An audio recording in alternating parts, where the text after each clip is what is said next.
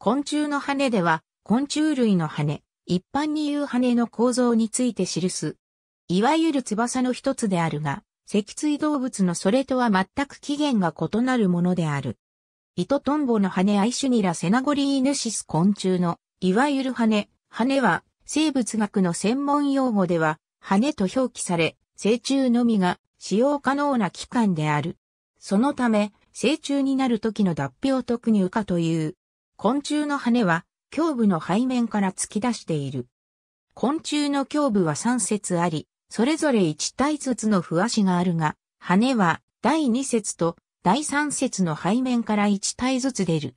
すなわち、昆虫の羽は、脊椎動物の翼に見られるような前足の変形ではない。したがって、羽を持つことが、不足の性能を制限することはない。飛行可能な脊椎動物が、その代わりに歩行能力を大幅に制限されるのとは異なり、昆虫の多くは十分な歩行能力を持っている。このような羽のあり方を持つのは、昆虫以外では空想の産物である天使やカラス天狗などしかない。地球の歴史上、飛行能力を最初に獲得したのも昆虫である。昆虫の羽は、背中の外骨格が薄く伸びたもので、基沈質でできている。膜状に広がった羽を支えるために、太くなった基沈質の筋が葉脈のように羽に広がる。これを死脈という。死脈は昆虫の羽化時に体液を流し込んで羽を進展するためにも機能する。死脈の配置などは分類上重視される。また、羽の表面には毛や鱗が並ぶこともある。小型の昆虫では、羽の周辺に並ぶ毛が羽の表面積を大きくしている。昆虫に含まれる目はそれぞれ独特の特徴を持った羽を持っている。そのため、羽の構造にちなんだ学名を持ち、日本語でもそれを直訳した名称を使用していた。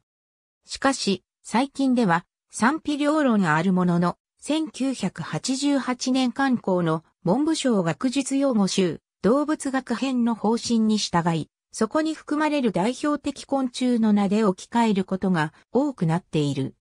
羽を広げるヨーロッパコフキコガネメロロンサメロロンサ、シミなどの昆虫は、羽を発達させる前の昆虫の姿を伝えるものと考えられているが、それ以外の昆虫はすべて羽を持つものか、羽を持っていたが二次的に退化させたものとされている。その中で古い羽の形を持つのは、カゲロウメとトンボメである。この両者は左右の羽を羽ばたきの方向以外の向きに動かすことができず、広げたままにするか、上に揃えて片付けることしかできない。また、両者とも幼虫が水中生活であることも共通している。トンボは空中の一点に止まることができ、宙返りが観察された種もある。羽には横方向から見て折れ曲がった構造をしていて凹凸があり、飛行中に気流の渦ができる。その発見以前の翼の理論では、そのような状態は失速のように性能が劣ると考えられていた。それ以外の昆虫は、ほとんどが羽を羽ばたきの方向に対して後ろ向きに折りたたみ、背中に重ねるようにして片付けることができる。ゴキブリも古い形質を持つ昆虫であるが、羽を下羽2枚、上羽2枚と交互に重ね、背中に密着させて畳む。したがって普段は羽がコンパクトに片付けられており、狭い隙間に潜り込んだり羽の損傷を防いだりする際に有利だと考えられている。大部分の昆虫は羽を4枚持つが、実質は2枚として使い、トンボのように前後別々に動かすことはない。蝶は前後の羽の一部を重ね、同時に羽ばたかせる。セミや蜂、蝶以外の大半の蝶目などでは、前肢と後肢が一体となって動くよう、前肢の後円と後肢の前縁が互いに引っかかるように鍵がついている。また、甲虫目の場合、後肢は膜状で薄く広いのに対し、前肢は高化していて、小肢と呼ばれる。平常時、後肢は折りたたんで背中に密着させ、前肢は後肢や腹部を守るようにその上を覆っている。外から見ると背中を甲羅が覆っているように見えることから、甲虫の名がある。甲虫目の多くの昆虫では少子を飛翔時にバランサーとしても使う。また、飛ぶことのナイオサムシやゾウムシの一部の種類では、左右の鞘羽が互いにくっついて、保護の役割のみを果たしている。同様のことは、カメムシアモクやハサミムシでも見られる。さらに、ハエメでは、羽が2枚しかない。これは、格子がごく小さく、先端が球状に膨れた棍棒状の器官に変形してしまっているためで、これを平均根と呼ぶ。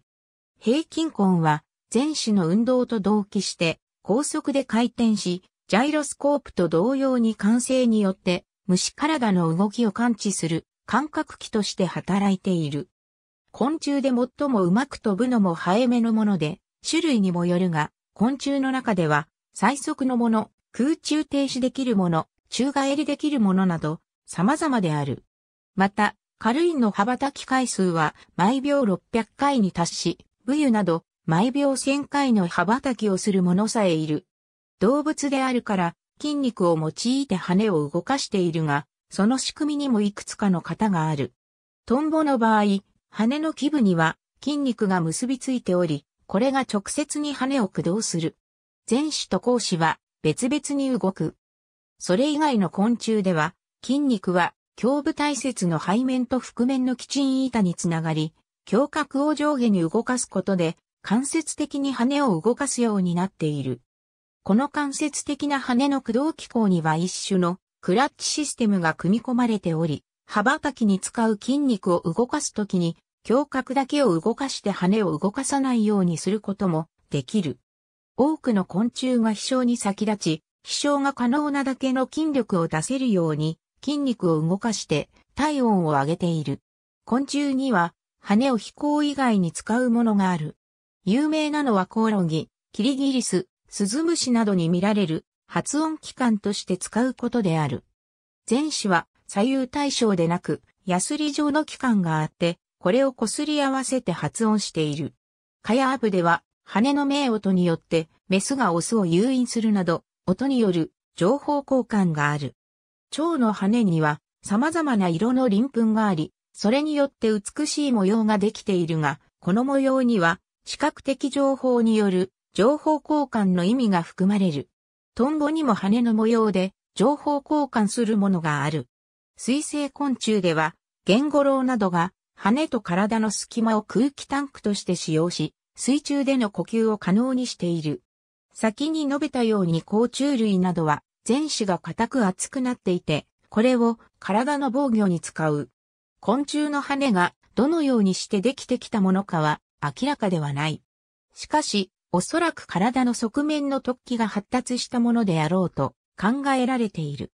古生代に生息した化石昆虫である昔アミバネムシ類では、胸部第2節と第3節の立派な羽の他に、胸部第1節にも短い羽があった。また、この昆虫では、腹部にも各体節にそれぞれ1体のヒレ状の側面の突起があった。昆虫の先祖はこのようなヒレ状の突起を全体節に持ち、そのうち胸部のものが発達して羽になっていったのではないかと考えられる。昆虫の羽の起源は伝統的に大きくエラ起源説とガワセイタ起源説があり、長らく議論が交わされてきた。2010年頃に理化学研究所のグループが石の実とカゲロウで羽遺伝子がどこで発現しているのかを分析したところ、エラとガワセイタの両方で発現していることが明らかになり、エラ説とガワセイタ説の複合説が大きくクローズアップされている。有シアズナに属する昆虫の大半は原則として羽を有しているが、二次的に羽を消失した種、飛行能力を失った種は、トンボ目とカゲロウ目以外のすべての目に存在する。目のレベルで、その構成種がすべて羽を有していないものはユーシアズナでは、ガロアムシメ、カカトアルキメ、ノミメである。当然、ブハネやコウに属するものには、すべて羽がない。ありがとうございます。